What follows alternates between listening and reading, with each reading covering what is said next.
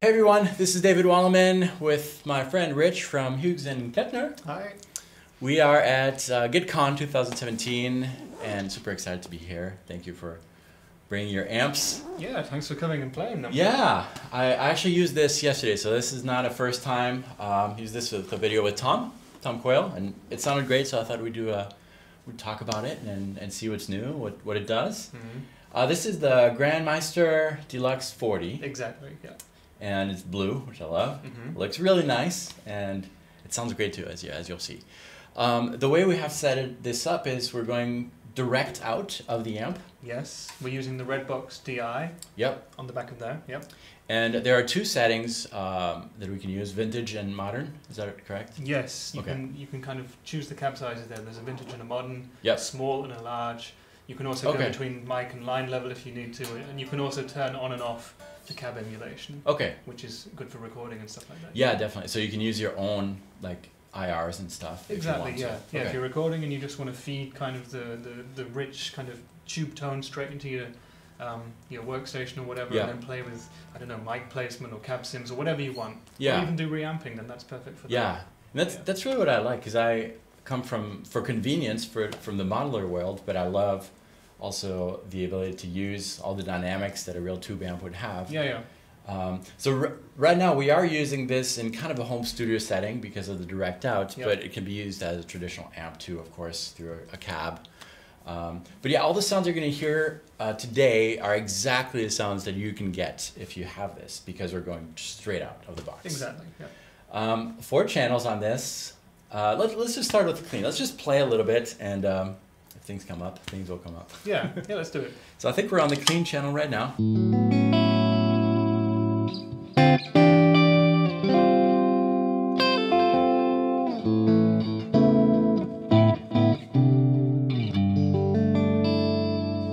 Um, the cool thing with, with this amp, I think, um, it, it's easy to use. It's not as confusing as some of the you know newer technology, um, but basically there are two lines. There's the the lower line, that's for your basic amp controls, um, treble, mids, like all the EQ stuff, volume, gain, anything you'd expect from traditional amp. hmm Uh, reverb, reverb also, and this is this built kind of like a you say like a spring reverb? Yeah. type? Digital spring reverb. Yeah. Yeah.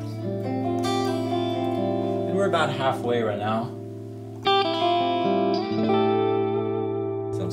Nice roomy sort of a sound. Yeah. Yeah.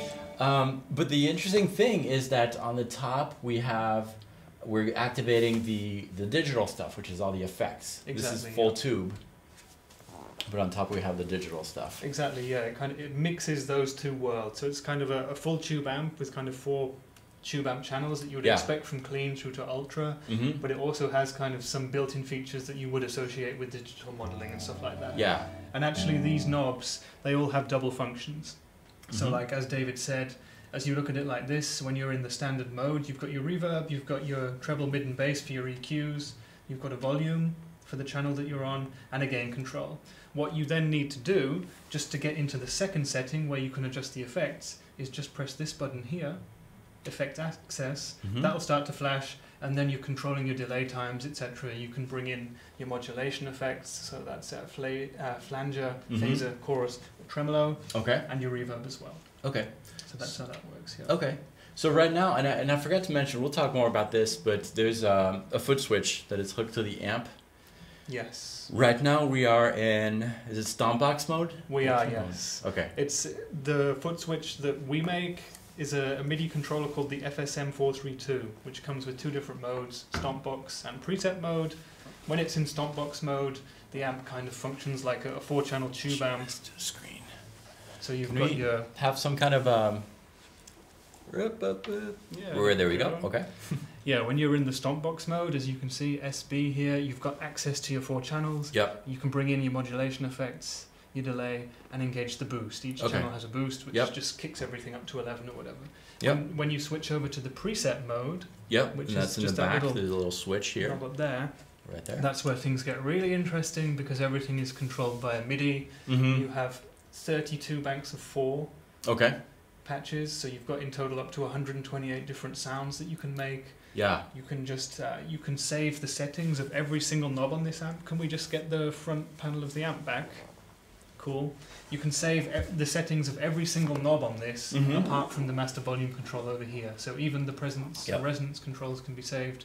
How much gain you've got can be saved. Your Mhm. EQ settings can be saved, and it's all analog as well. Yeah. So so if you're like in a if you just play clean tones, your man just cleans, you can have like four presets of just cleans on your thing Yeah. instead of switching channels. which Exactly, is yeah. Really nice. I know a few guys who actually they play in covers bands and stuff like that, Mhm. and they might have a 30 song set. Yep. And what they actually do is they go through and they create a bank for each song. Mm-hmm. So they've got like if they have one song where they've got a clean sound, a crunch sound, and a lead solo sound, then Yeah. they've got on bank one there they've got those three patches. Mm-hmm. When they go to the next song, they move to the next bank of four, and they've then got up to four sounds that they can use on that song. So you can use it like that, or Yep. however you want. In fact, Okay. So right now, if I go through my four ba- my four channels here, I'll have the same effect but different channel. exactly. Yeah. Okay. So this is our clean. Here's the second channel, kind of a crunch type of thing.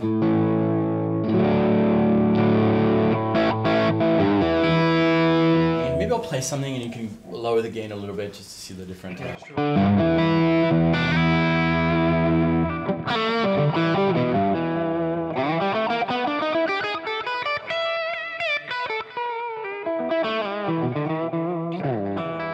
And then let's bring it back up, see how far we can go.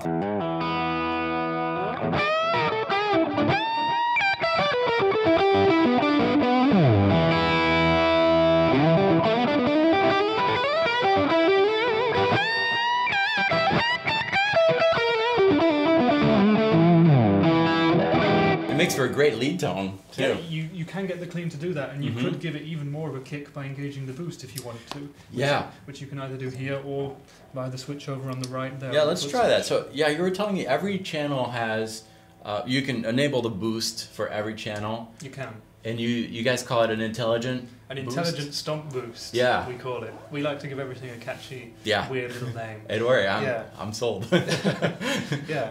And, and basically what it does is, yeah, it kicks you up a Mhm. notch, whatever you're doing. It sends you up to 11, whatever you want to call it. Yeah, And yeah. Based on what your sound is, if you've Mhm. got just kind of a flat, clean rhythm sound, it'll just kick you up. It'll give you a clean boost. Yeah. If you're already on a pretty kind of saturated gain tone, hmm you'll go up a whole lot more. Yeah. It's more noticeable the more kind of high gain you've got, the more saturation. Yeah. hmm Well, let's try this. So, uh, boost is not engaged right now.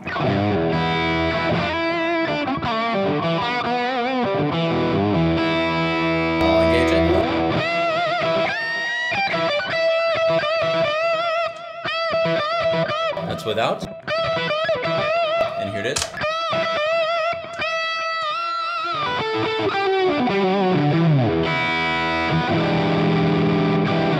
That's great. What I'll just do now is I'll just I'll whack the gain down. Let's put the gain at 12 o'clock. Mm-hmm. Do the same thing again and let's see if we notice a difference. And I'll bring it in now.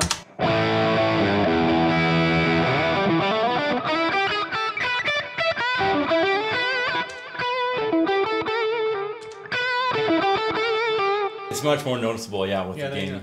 because we were all the way up with the gain already. Yeah, and that's kind of that's the intelligence nature of it, I guess. It just it Yeah. worked. It knew what exactly what you were doing, and it just thought, yeah, David, Mhm. David needs this boost right Yes, now. And yes. It did exactly that. Yeah. It's it's it's very musical to me. It's Yeah. it feels very natural, very very musical.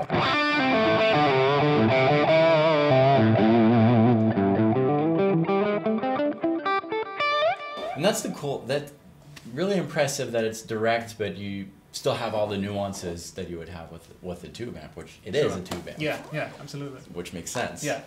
Um, great. Let's move on to channel three. Which is the lead channel. Okay. Yep.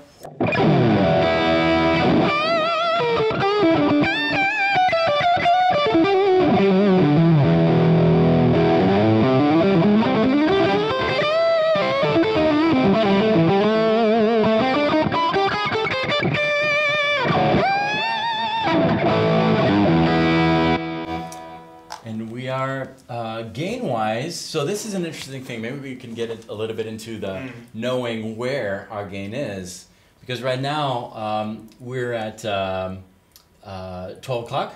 Yeah. Or the- no, 6. We're, Yeah. we're in the the knob is in the middle. Yeah, the knob is physically in the middle, but that's the Mhm. thing with the Grandmeister because you know when you change stuff on the foot switch, obviously the amp doesn't Yeah. physically Yeah. turn with you. Mm-hmm. So what you would need to do in this case to find out where the gain is, Mm-hmm. can we get like even more of a close up on the front of the amp? Would that be all right? Nice. That'll do. That's, That's nice. great. Thank you. Yeah. So if you want to find out on the amp itself exactly what the setting is, just twist the control in question and take a look over at this store button here. Pretty soon, it's going to do go. that. And when it flashes, you know exactly where you are. So we weren't at 12 o'clock, we were pretty close, we were about Mhm. at 2 o'clock on it. So if I play now, you shouldn't hear much difference.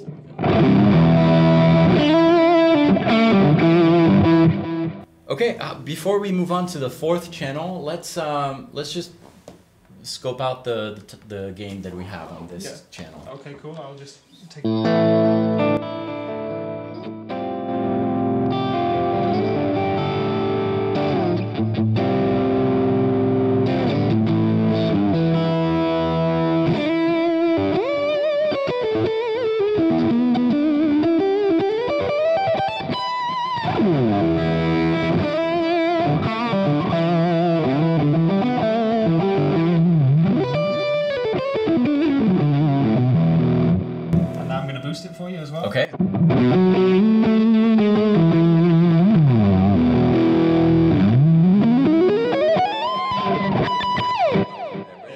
Cool. But there we go. So in terms of kind of lead sound, soloing, you can go from 80s to 90s to Yeah. 40s to, to pretty much everything. You Mhm. can cover a wide range of ground with this channel. Yeah. So we covered uh, clean, crunch. This was the lead channel. Yes. And what is the fourth one The called? fourth channel is, The Ultra channel. Okay. which you have to say in that tone of voice. Let's go in. The Ultra channel. Yeah, let's try this.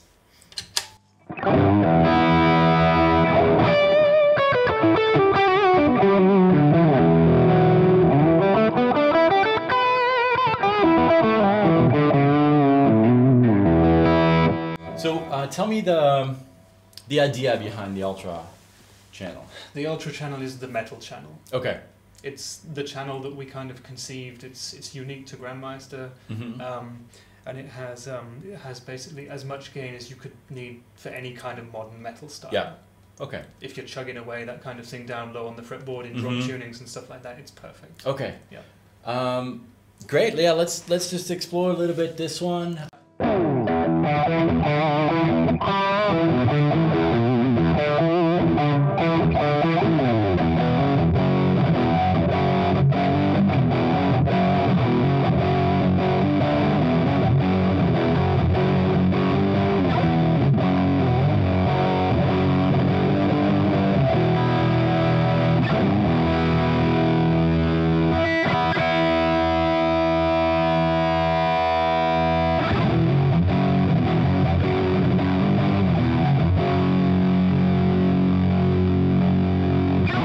Not much of a metal player, but it sounds good, and I can tell there's a lot of lot of gain. Yeah, yeah. I, I don't think there's many players who can't find the Yeah. amount of gain that they need on this amp. Yeah. yeah, yeah. Exactly.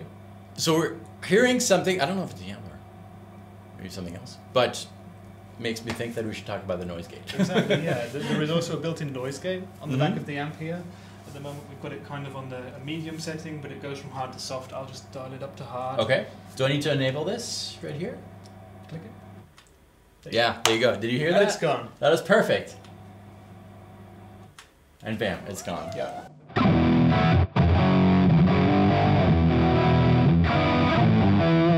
I haven't seen many amps with um, a noise gate that is accessible with just the click of a button like that. I think it's really convenient. Yeah. Very yeah, it's a cool feature, and you can kind of, when we go into the preset mode, kind of Mhm. the MIDI mode where you build your own exact sounds, you can Yeah. you can program the noise gate to have it either on or off for each preset. Okay. Because sometimes you want that, Yeah. you might want to use the Mhm. sound to your advantage Yeah. to build it into your thing. If you're chugging, for example, Mm-hmm. on the ultra channel, you might not want it for cleaner stuff, and you can just then switch it off. Yeah. Very simple. Yeah. Awesome. So now I, I switch back to the clean here.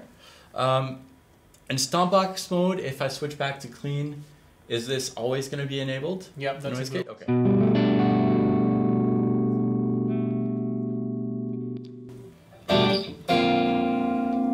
And that's the fact that the the, dig- the digital aspect of it, where you can really store a preset with the noise gate without, um, will allow you to create your tones with multiple different guitars, since you know single coils are going to Yeah. react differently, and so that's really a, a cool use. Like I've got a bunch of guitars that I use depending on the project, and Yeah. that's that I like that. That's, Yeah. that's great. Uh, what else do we have? Well, we have a traditional effects loop. Um, we can enable it here or disable it. Exactly. Again, when you're um, programming your own sounds, you can either Mhm. bring the effects loop in or out. Yep. So if you've got a bunch of pedals that you just leave on in the background, you Mhm. can bring them in for certain sounds if you need them, and then just have them not Yeah. in your preset at all, and you hear nothing. It's bypassed. Yeah. Okay. Um, last thing that I want to mention, and you should check out um, Hughes and Kettner's uh, channel because we're going to go more in depth with that. But there is um, there's an app on uh, iPad right now. Is it only iPad? Is it iPhone too? It's iPad only. Okay. So you, you need to get an iPad. you don't Yes. have to. You don't have to. It, it's really a bonus feature. Yeah. And I, I do want to stress that it doesn't do anything Mhm. that you can't do with the app and a decent foot switch. Yeah. Um, well, there is one little thing you can do, and that's you can control the exact amount of milliseconds on your delay, something Okay. like that. And it does offer you kind of all of the controls on one screen. So it's pretty convenient. Mhm. We've got a little wireless dongle as well that you can get for it, so you can just run it without wires. Let's say you're uh, you're on a big stage and you've got your amp at the back, and you kind of want around want Mhm. to wander around and just dial the sounds in from away from the amp. You can do that, no problem. Yeah. Um, yeah, and I can totally see this. Yeah, on stage, and you you want to hear the amp from the audience perspective, and you can do that Yeah. with this. Um, so basically, what we see here on the screen is what what this is. Yeah, you've got the two rows of controls exactly the and the ones which are in the second function are up here, and Mhm. the traditional EQ stuff is down here. Yep. Exactly. Yeah. Everything just on one screen. So in that sense, it's it's pretty helpful. Yeah. Yeah. So I think what uh, the plan is, we're actually gonna run through this on um, Hughes and Kettner's uh, channel. We'll create a preset using the app Exactly. Yeah. and the amp, see how it works. So check that out. You should. And uh, thank you so much. This is really fun. Yeah. I really- enjoyed it too. Yeah. exciting uh, to, to play this, and you should check them out. This is the Grandmeister Deluxe 40. Check out their channel, subscribe to mine. Thank you so much. I'll see you guys very soon. See you next time. Cheers.